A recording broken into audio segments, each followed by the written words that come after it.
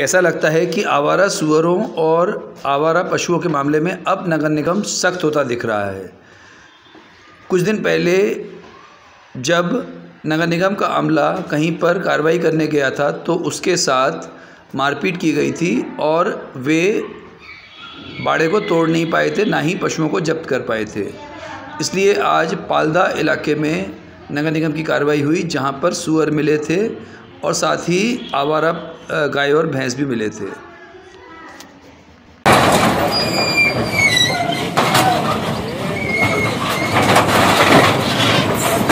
बढ़िया